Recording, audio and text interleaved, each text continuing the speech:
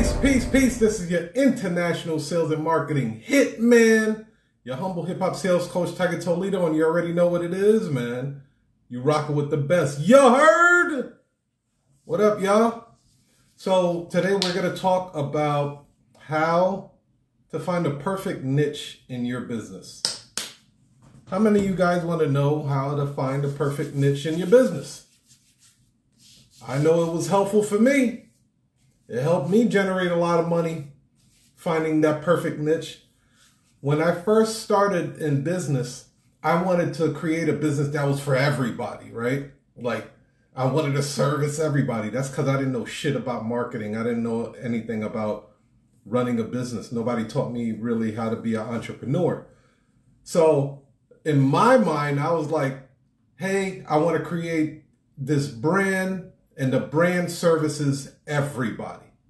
Now, there's an old saying in the marketing industry if you service everybody, you're really servicing nobody. So, I want to help you guys identify the perfect niche in your business. Okay. So, this is what we're going to do. First thing you have to do, number one, is to admit to yourself you don't know shit about what people want. You may think you know what people want, but you really don't. You know what you would like. And let's be honest, you are not your customer. Shout out to you, uh, Pastor. Pastor Jordan. Hey, tell Drew, uh, Ralph Pittman, tell tell Allison, all of the the whole gang. I said, what's up, man? Shout out to you guys for being on Bravo and uh what is that? Um, Real Housewife of Atlanta. Shout out to you. Salute to you guys. Um, but I wanted to talk to you guys about selecting that perfect niche, right? You have to admit, the first thing you have to do is admit that you don't know jack squat about what the people want. A lot of times as entrepreneurs, we'll come into a situation and say to ourselves, I know what I would like. I would like this. And then you start creating a product and service for your damn self. What are you going to do? You can't, what are you going to keep buying your own product? That's not how this works. So the thing that you want to do is, especially if you're already getting phone calls, you're getting inquiries, you want to create what is called, I call it a call tracking system, right? For every phone call that you're getting, you're marking down on the list of, let me see if I have it in my book. By the way, if you didn't get my Rise of the Smart Notary book, number number one new release and top five bestseller on Amazon, you need to get that book. Let me see if I have it in here. It's called a call tracking system. And the way you do it is if you're getting phone calls from clients, for every phone call, you, you break it down into like maybe four or five categories. I'll give you an example. Like in my notary business, I have personal documents, right? Like general uh, personal documents will be like power of attorneys, stuff like that. So that would be one of them, power of attorneys. The next one will be real estate. The next one will be, uh, well, what would the next one be? I'm looking at my board here. Financial. And then the other one would be miscellaneous. So for every phone call, whether the person bought my product or not, I'm marking down under its respective category, right? And I'll do this for about 30, 60. It'll be great if you could do it for 90 days. Ideally, you want to do it for 90 days, right?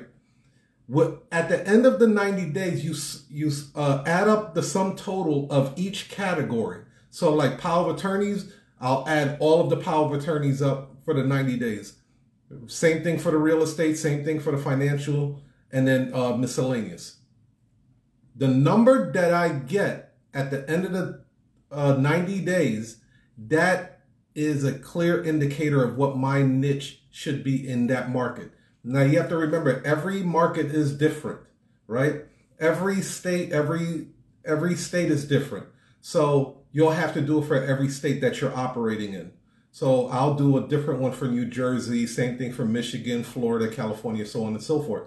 But the numbers that you end up with that should be your niche because that there is a high demand for that service in your market.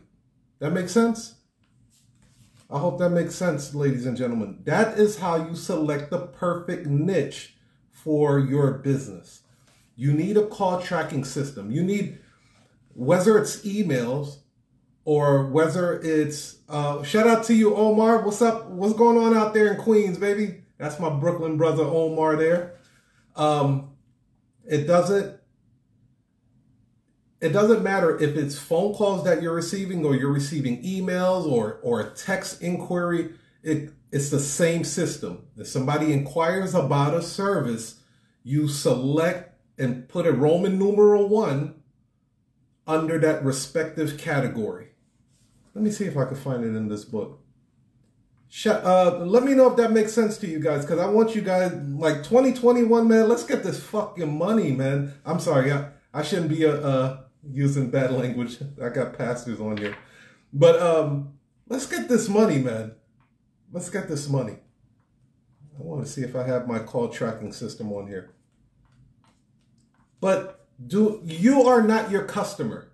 You are not your customer. So don't assume that, hey, I would buy this or I wouldn't buy this. You're not your customer. So don't do not inject your buying beliefs or your buying habits into your customers. They buy different. You may not want to buy a Louis Vuitton bag. For them, they can't have enough of them, right? You might not like taking cruises because you're afraid of the water.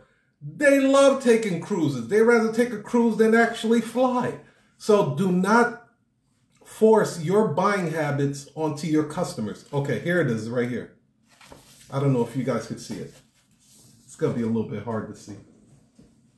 Let me dim my, change the color of my light real quick. Uh, no. Okay, that's a blue light, orange light. Okay, so got, can you guys see this? What that looks like? So that is the call tracking system. So for every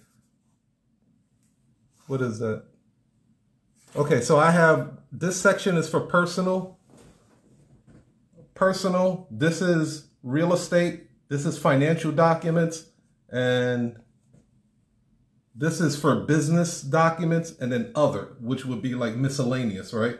So for every phone call, for every inquiry that I get, I will put a line through it, right? Like a Roman numeral one right next to it. And then at the end of three months, I will sum up the total of all of it. So it's broken down in weeks, right? Week one, week two, week three, week four. So I'm doing this consistently for 90 days. After the 90 days, I'm going to sum up all the totals in each category, in its own category. So if, so in my market, because I'm in Chicago, the personal documents that won was power of attorney.